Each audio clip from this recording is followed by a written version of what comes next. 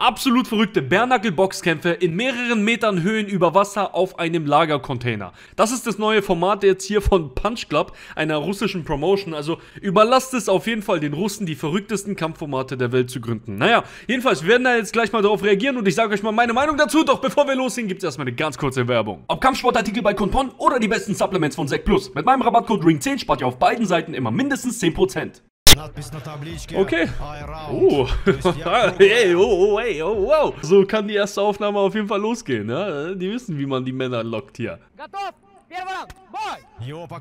Okay, hier, hier gibt es gar keine Vorstellung großartig zu den Fightern, sondern der Kampf beginnt jetzt direkt. Der eine kassiert schon eine miese Bombe, der zweite kassiert eine Bombe. Beide rutschen jetzt hier die ganze Zeit hin und her. Und der erste fällt schon ins Wasser. Okay. Also, boah, da klatscht es schon richtig gut zwischen den beiden, ja? Klatsch, klatsch, klatsch und der fällt runter. Okay. Die zweite Fight-Paarung, also das sind mehrere Kämpfe, so wie es wohl jetzt ausschaut, hintereinander. Die zweiten sind jetzt auch oben auf dem Kanister drauf. Der eine hat Schuhe an, der andere nicht. Also ich glaube, der mit den Schuhen wird besser performen, weil er besseren Grip hat. Ja, der hat Allradantrieb, während der eine nur Heckantrieb hat. Stopp, stopp, stopp, stopp, stopp. Uh. Oh, der wurde angenockt. Also aktuell irgendwie geht es den äh, Leuten in Russland nur noch darum, Hauptsache irgendein Format zu erfinden, das die anderen noch nicht machen. Ja, da gibt es dieses in dem, in dem Auto diese Kämpfe, ja, wo die sich anschnallen, abschnallen und dann sich im Auto auf die Fresse hauen. Dann das in der Telefondose, in der Telefonzelle. Jetzt auf einem Container über Wasser. Also, was ist das nächste? In einem fliegenden Flugzeug und der erste, der runterfliegt, ist tot. Hat verloren. Naja, egal. Also, paar Gedanken. Absolut sinnloses Format natürlich. Ist lustig, das anzuschauen. Zweitens, also das ist halt lebensgefährlich, ne? Seien wir mal ehrlich. Es ist wirklich lebensgefährlich. Stellt euch mal vor, ein Typ wird hier hardcore erwischt, ans Kinn, geht Knockout, fliegt ins Wasser und schluckt unter Wasser dann, was weiß ich, wie viel Liter und verreckt dort. Also ich weiß nicht, ob die da jetzt hier direkt unten so eine Wasserwacht haben, die sofort hinterher taucht. Aber das wäre auf jeden Fall nötig, ja. Sau gefährlich auf jeden Fall. Da. Es sind halt jetzt mehrere Sachen, die das ganze Ding natürlich noch erschweren. Ne? Man darf nicht vergessen, der Container, der hängt hier in der Luft. Je nachdem, wie die sich also bewegen, wackelt der ja auch noch, ne? Was zusätzlich das ganze Thema mit der Balance erschwert, wie man jetzt hier ganz gut sehen kann bei dem. Und natürlich dann ist auch noch der Boden alles nass. Also man rutscht die ganze Zeit einfach nur hin und her.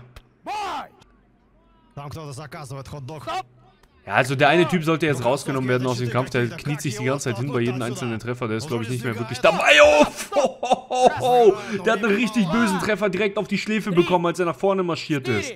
Nimmt den Typen raus, ey. Unnötig, dass er weiterkämpft.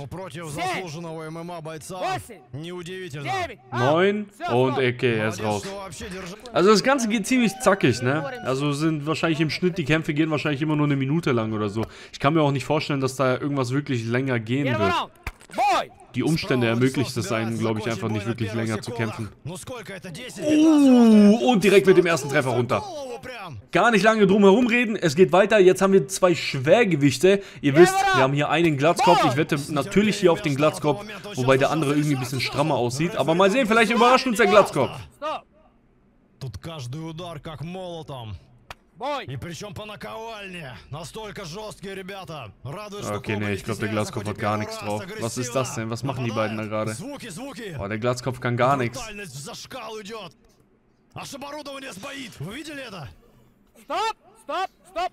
Also das ist jetzt irgendwie ein bisschen so eine Mischung aus Boxen und Sumo-Ringen, was die beiden da jetzt gerade machen. Wobei, also ich sag ehrlich, für den Glatzkopf sollten die da hinten einen Grill mit Würstchen aufstellen dann kann er sich da als Grillmeister aufstellen, aber hier oben beim Kämpfen hat er nichts verloren eigentlich, meiner Meinung nach. Der kann gar nichts. Schaut mal. Also der, der, kann halt wirklich absolut gar nichts. Okay, ist es jetzt ein Unentschieden? Beide sind untergeflogen. Okay, beide müssen jetzt weitermachen. Ist wohl kein Unentschieden, wenn beide runterfliegen. Es geht weiter. Мощный начинает свой туц-туц.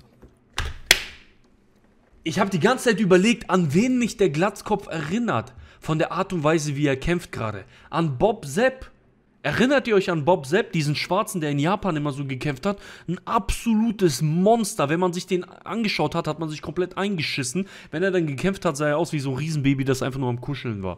An den erinnert er mich gerade, original. Seid ehrlich, wenn ihr Kämpfe von Bob Sepp angeschaut habt, dann ist es eins zu eins dasselbe gerade. Aber warte mal, der Glatzkopf teilt jetzt hier gerade eine Gum-Gum-Maschinenpistole-Schlagkombination aus. Fünf, sechs Schläge in Folge, kurz durch die Mitte. Das mögen sogar Kettenfauststöße aus dem Wing Chun gewesen sein. Möglicherweise haben wir uns hier alle komplett getäuscht und er ist eigentlich ein Wing Chun Nahkampf-Kampfsportmeister. Und nur Teilzeit-Grillmeister.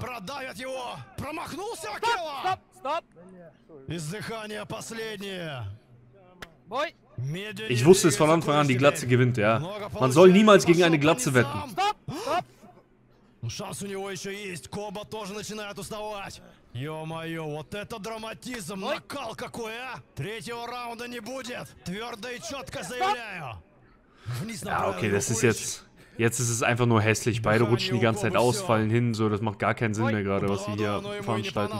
Das Problem ist halt, dass dem, nachdem die ins Wasser geflogen sind, direkt wieder dann nach oben geholt werden. Und das ist halt jetzt alles nass, ne?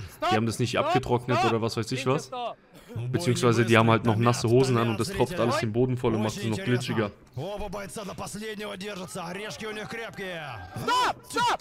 Stopp! Stopp! Stopp! Der Referee, Junge, der hat gerade Tourette-Anfall gehabt. Wie oft hat er jetzt hintereinander Stopp gesagt, als ob die das nicht verstanden haben.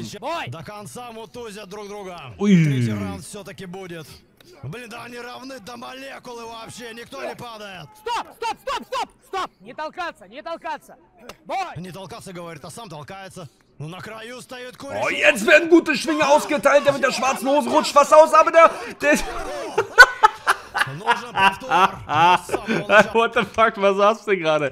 Der Schwarze fällt fast rückwärts runter, der Glatzkopf rutscht auf ihn drauf, rutscht dann halb runter, versucht sich festzuhalten, der Referee versucht ihn festzuhalten und dann fällt er trotzdem ins Wasser. Oh, das war jetzt echt lustig. Ich frage mich ehrlich, wie der es eigentlich geschafft hat, über ihn drüber hinweg und dann ins Wasser zu rutschen. Es gibt noch eine einzige letzte Kampfpaarung bei diesem Event. Richtig großer Kerl auf der linken Seite, ordentliches Schwergewicht. Etwas kleinerer Panzer auf der rechten Seite. Da könnte es jetzt richtig krachen. Also ich gehe davon aus, dass das Ding sehr, sehr schnell vorbei sein wird jetzt hier. Gute Beinarbeit von dem Kollegen in der roten Shorts. Чтобы он сам упал voll unnötig. Ich weiß nicht, warum die das jetzt am Ende da so reingebaut haben. Was war das jetzt gerade für ein Stunt? Naja, scheiß drauf. Ey, das war's mit dem Video. Freunde, das ist absolut sinnlos. Keine Ahnung, was das für ein Scheiß sein soll. Aber naja, gut, lustig ist es, unterhaltsam ist es. Schreibt mir mal eure Meinung auf jeden Fall zu diesen russischen Containerkämpfen über Wasser in die Kommentare. Würde mich interessieren, was ihr dazu zu sagen habt. Und das war's. Wir sehen uns im nächsten Video, Freunde. Bis dahin bleibt alle gesund, passt auf euch auf und ciao, ciao.